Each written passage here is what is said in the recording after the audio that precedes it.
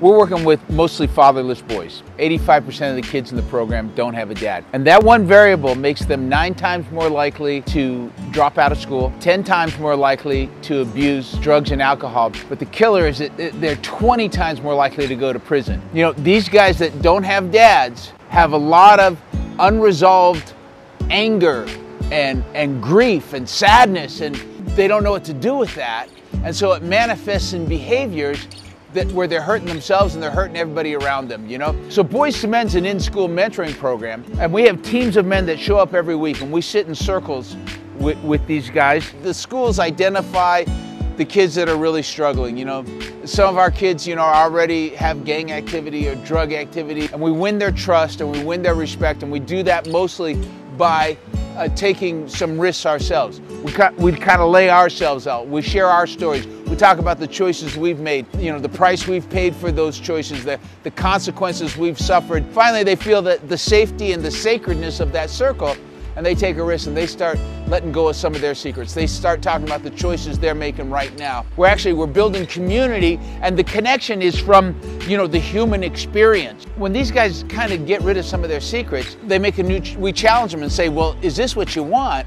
And they'll say no. And so we say, well, what's one thing you can do different this week to move towards becoming the man you want to be? And every week they make a new choice. And every week our job as mentors is to offer them support in that choice. And week by week they're making new choices. They're getting support and accountability for those choices. And they start feeling better about themselves. And when they feel better, they do better, you know?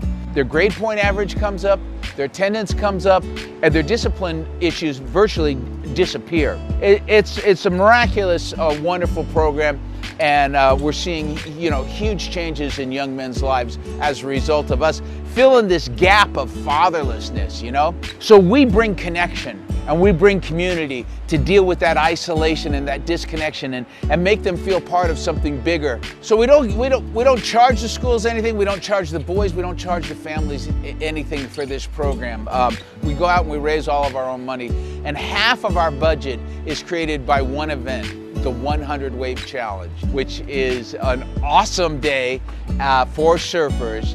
And uh, we give surfers 10 hours to catch 100 waves. The surfers build their own landing page and and they, they talk about why they would support a program like Boys to Men. They tell their own story. They, they take that link and they send it out to their address book.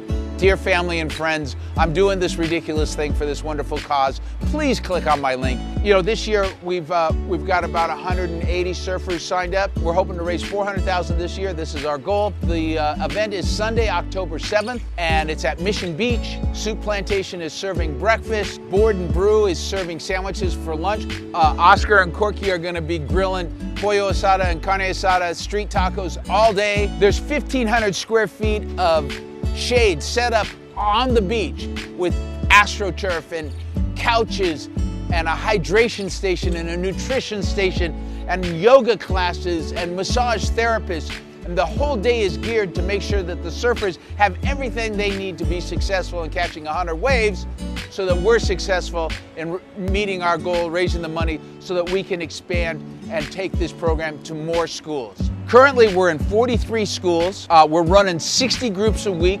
We're offering mentoring to 1,000 boys on a weekly basis. Most of that was made possible by the 100 Wave Challenge. It's critical. The success of the 100 Wave Challenge is critical to the success of the Boys to Men in-school mentoring program. Surfers, if you're out there and you want to do this, 100wave.org is the website and we got a week to get this done. So go sign up. It's it's, it's a game changer.